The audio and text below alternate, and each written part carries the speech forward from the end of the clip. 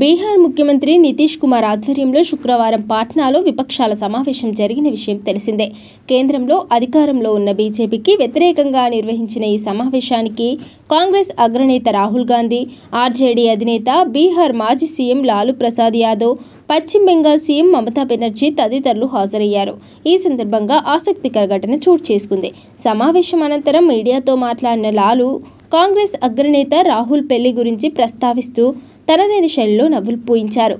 ఇకనైనా పెళ్ళి చేసుకోవాలంటూ రాహుల్కు సూచించారు. పెళ్ళి చేసుకోమని గతంలో నేను చేసిన సూచనను రాహుల్ అంగీకరించలేదు. ఇంకా సమయం మించిపోలేదు. ఇప్పటికైనా పెళ్ళి చేసుకోవయ్యా. మేమంతా నీ భరత్కు రావాలనుకుంటున్నాం. మా అభ్యర్థనను అంగీకరించు అని వ్యాఖ్యానించారు. రాహుల్ పెళ్ళి గురించి తన తల్లి సోనియా గాంధీ తనతో మాట్లాడినట్లు లాలు తెలిపారు. పెళ్ళికి ఇప్పటికీ నువ్వు విముఖత చూపకపోవడంతో మీ అమ్మ ఆందోళన చెందుతోంది అని లాలు అన్నారు. లాలు మాటలకు కాస్త సిగ్గుపడిన రాహుల్ మీరు చెప్పారు కాబట్టి అది జరుగుతుంది అంటూ నవ్వుతూ బదిలిచ్చారు. రాహుల్ వయసు ప్రస్తుతం యాభై మూడేళ్ళు ఇంకా వివాహం చేసుకోలేదు. దీంతో రాహుల్ పెళ్ళి గురించి అనేక సార్లు ప్రస్తావన వచ్చింది.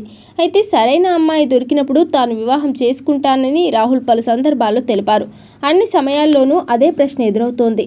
ప్రస్తుతం నేను ఎన్నికల పోరాటంలో నిమగ్నమై ఉన్నాను.